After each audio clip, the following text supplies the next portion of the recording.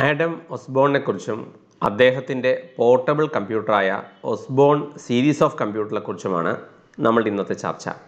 Welcome to cyber Malayalam. എന്റെ പേര് ശ്യാംലാൽ. ആദ്യത്തെ പോർട്ടബിൾ കമ്പ്യൂട്ടർ ഏതാണ്? അല്ലെങ്കിൽ ആദ്യത്തെ ലാപ്ടോപ്പ് ഏതാണ്? എന്നതിനെക്കുറിച്ചുള്ള പല തർക്കങ്ങൾ വിപണിയിൽ നിലവിലുണ്ട്. നമ്മൾ കഴിഞ്ഞ ദിവസത്തെ വീഡിയോയിൽ ചർച്ച ചെയ്ത Tandy Radio Shack series of ലാപ്ടോപ്പുകൾ അല്ലെങ്കിൽ പോർട്ടബിൾ കമ്പ്യൂട്ടറുകൾ ഇൻഡസ്ട്രി പൊതുവേ ആദ്യ ലാപ്ടോപ്പായിട്ടോ അല്ലെങ്കിൽ ഒരു കൈൻഡ് ഓഫ് ടാബ്ലറ്റ് ആയിട്ടോ ഒക്കെ അംഗീകരിക്കുന്നുണ്ടെങ്കിലും പോർട്ടബിൾ കമ്പ്യൂട്ടർ എന്ന ഡെഫിനിഷനിൽ വേറെ പല ഉപകരണങ്ങളും വരുന്നുണ്ട്. പോർട്ടബിൾ കമ്പ്യൂട്ടറിന്റെ ഡെഫിനിഷനിലേക്ക് ശരിക്കും ഏറ്റവും ആദ്യം ചേരുന്നത് നമ്മൾ മുൻപ് ചർച്ച ചെയ്ത ഐ ബി എമ്മിന്റെ system five one double zero എന്ന ഉപകരണമാണ്. അതിനെ പോർട്ടബിളാക്കുന്ന മുഖ്യ ഘടകം അതിന് ഒരു ഹാൻഡിൽ പിടിയുണ്ടെന്നുള്ളതായിരുന്നു. അതായത് നമുക്ക് പിടിച്ച് എടുത്തുകൊണ്ട് പോയിട്ട് ഒരു മേശപ്പുറത്ത് വെച്ച് ആ കമ്പ്യൂട്ടർ ഉപയോഗിക്കാം. പക്ഷേ അതിന് ഇപ്പോഴത്തെ കാലത്തെ പോർട്ടബിൾ കമ്പ്യൂട്ടറുമായിട്ട് നമുക്ക് കമ്പയർ ചെയ്യാൻ പറ്റുന്ന സംശയമാണ്. കാരണം അതിന് പവർ സപ്ലൈ അടക്കമുള്ള എല്ലാ യൂണിറ്റുകളും പുറത്തുനിന്ന് കണക്ട് ചെയ്യണമായിരുന്നു. അപ്പോൾ ഒരു മേശപ്പുറത്ത് എടുത്ത് വേറൊരു മേശപ്പുറത്ത് എളുപ്പം കൊണ്ട് വെക്കാവുന്ന ഒരു ഡെസ്ക്ടോപ്പ് എന്നതിലുപരിയായിട്ട് അതിനെ നമുക്ക് പോർട്ടബിൾ കമ്പ്യൂട്ടർ എന്ന് ചിന്തിക്കാൻ ബുദ്ധിമുട്ടാണ്. ആ ഒരു മേഖലയിലേക്കാണ് ഓസ്ബോൺ എന്ന കമ്പനി കടന്നു വരുന്നത് അവരുടെ ഓസ്ബോൺ വൺ എന്ന ഉപകരണവുമായിട്ട്. ഈ ഓസ്ബോണിന്റെ പുറകിലുള്ള ആഡം ഓസ്ബോൺ എന്ന വ്യക്തി ഇദ്ദേഹം ഒരു ബ്രിട്ടീഷുകാരനായിരുന്നു. പല രാജ്യങ്ങളിലൂടെ സഞ്ചരിക്കുകയും ഒരുപക്ഷെ ഇവരുടെ ജീവിതത്തിന്റെ ആദ്യ കുറേ കാലഘട്ടങ്ങളും പിന്നെ അവസാന കാലഘട്ടങ്ങളും ഇന്ത്യയിൽ ജീവിക്കുകയും ഇന്ത്യൻ മിത്തോളജിക്കൽ കൺസെപ്റ്റുകളുമായിട്ടൊക്കെ വളരെയധികം താതാമ്യം പ്രാപിച്ചിരുന്ന ഒരു വ്യക്തി കൂടെയാണ് ഓസ്ബോൺ എന്ന ആൾ. ഇദ്ദേഹം തുടക്കകാലം മുതലേ കമ്പ്യൂട്ടിംഗ് ഇൻഡസ്ട്രിയുടെ എഴുപതുകളുടെ സമയത്ത് കമ്പ്യൂട്ടിംഗ് മൈക്രോ പ്രോസസ്സറുകളുടെ മാനുവലുകൾ എഴുതി തുടങ്ങുക ചെയ്തത്.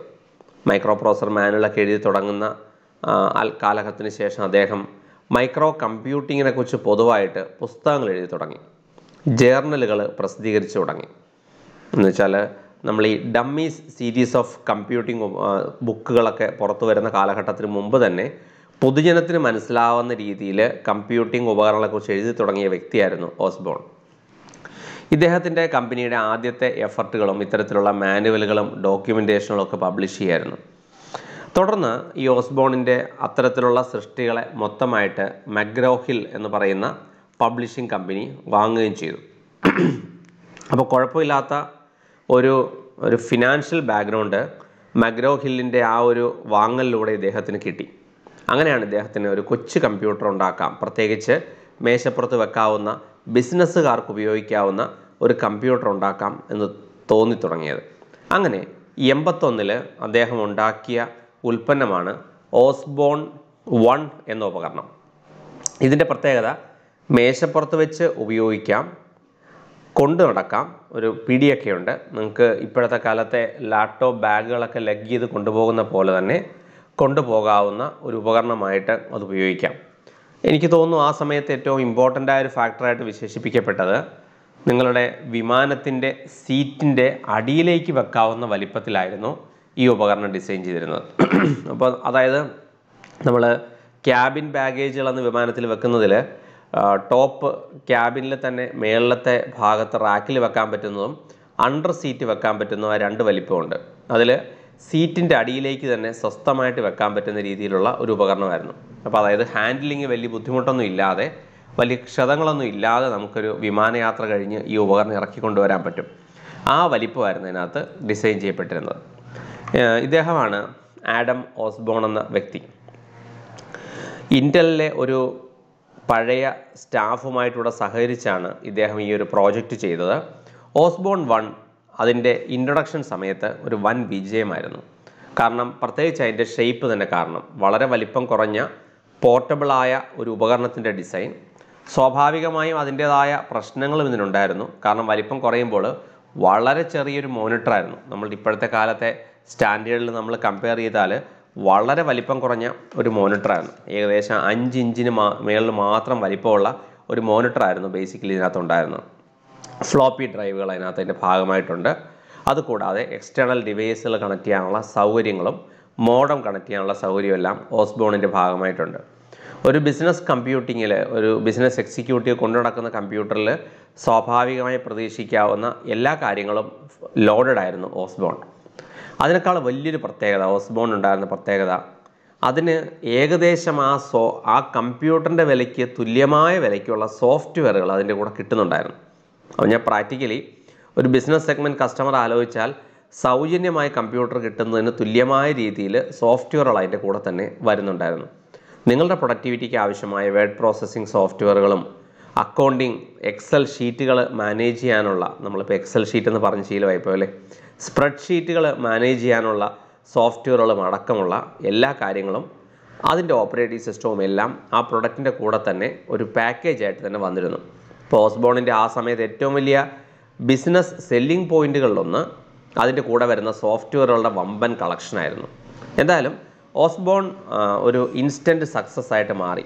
നയന്റീൻ എയ്റ്റി വൺ സമയത്ത് പോർട്ടബിൾ കമ്പ്യൂട്ടിംഗ് വിപണിയിൽ ഒരു ഇൻസ്റ്റന്റ് സക്സസ് ആയിട്ട് മാറി.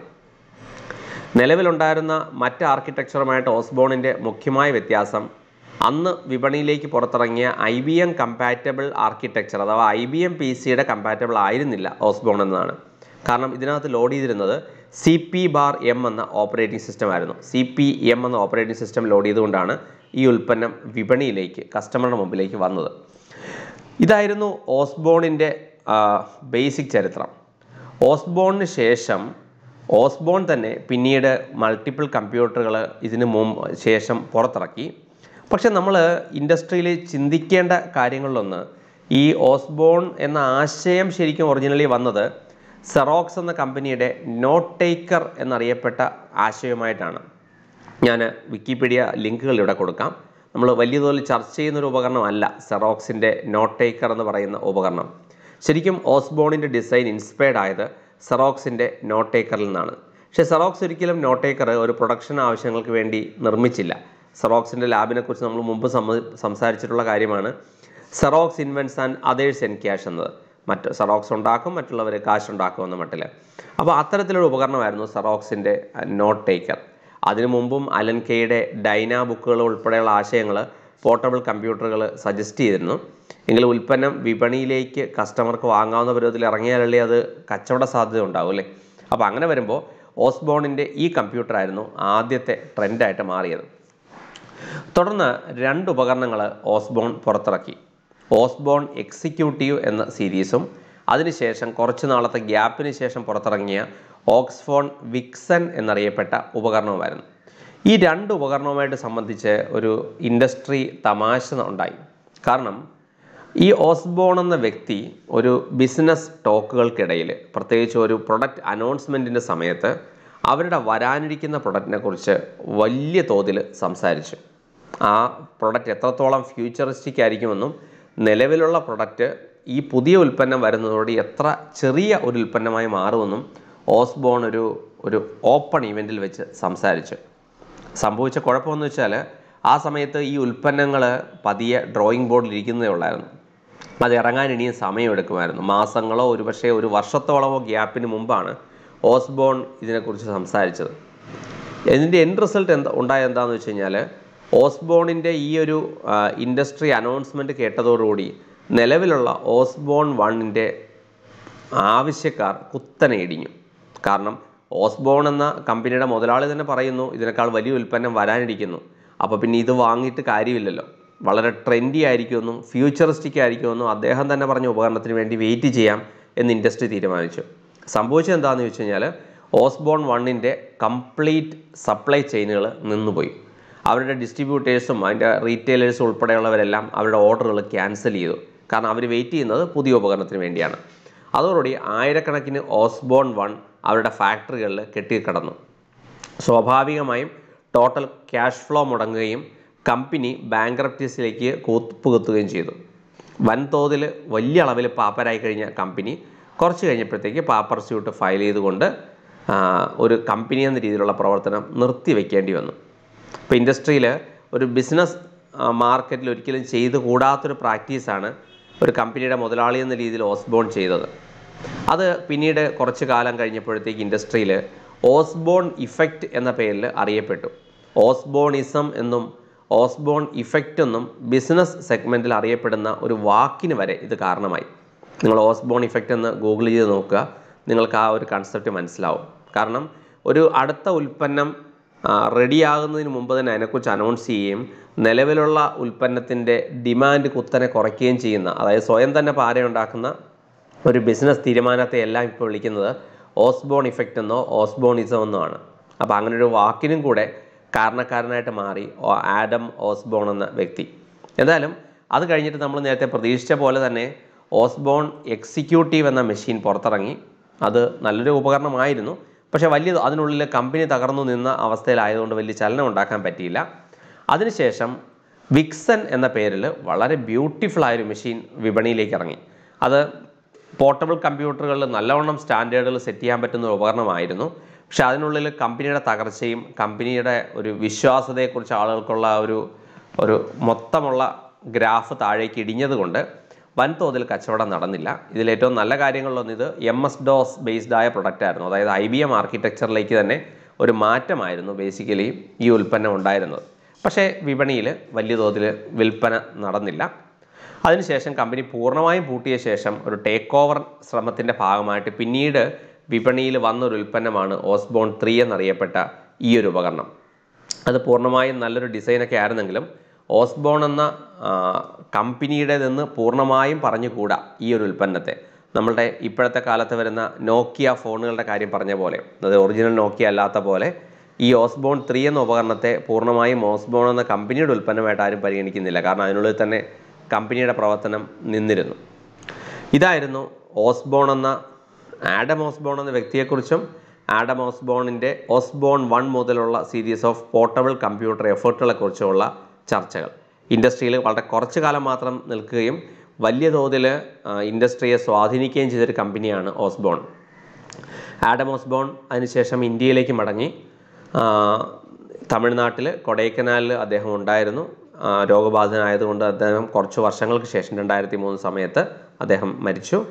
അപ്പോൾ ഓസ്ബോൺ അതോടുകൂടി ഒരു കമ്പനി എന്ന രീതിയിലും ഒരു വ്യക്തി എന്ന രീതിയിലും വളരെ കുറച്ച് കാലം മാത്രം വളരെ ബ്രൈറ്റായിട്ട് നിന്ന ഒരു കൺസെപ്റ്റാണ് ഓസ്ബോൺ എന്നത്. കമ്പ്യൂട്ടിംഗ് ഇൻഡസ്ട്രിയിലെ ആളുകൾ അധികം അറിയാത്ത കാര്യങ്ങളെക്കുറിച്ചുള്ള കൊച്ചു കൊച്ചു ചർച്ചകളാണ് സൈബർ മലയാളം വീഡിയോ സീരീസുകൾ ഇതുമായി ബന്ധപ്പെട്ടുള്ള റഫറൻസ് ലിങ്കുകൾ നേരത്തെ എല്ലാ തവണയും ചെയ്യുന്ന പോലെ തന്നെ ഈ വീഡിയോയുടെ ഡിസ്ക്രിപ്ഷനിൽ ഉണ്ടാവും. അപ്പോൾ ഈ വീഡിയോയ്ക്ക് ഉപരിയായിട്ട് അത്തരത്തിലുള്ള ഡിസ്ക്രിപ്ഷനൂടെ വായിക്കുക. അപ്പോൾ നിങ്ങൾക്ക് കൂടുതൽ അതിനോട് താല്പര്യമുണ്ടാകുകയും ആഴത്തിലുള്ള വായനയ്ക്കുള്ള ചാൻസ് കിട്ടുകയും ചെയ്യും. അടുത്തൊരു വീഡിയോയുമായിട്ട് അടുത്ത ദിവസം ഉച്ചയ്ക്ക് പതിനൊന്ന് മണിക്ക് കാണാം. നന്ദി.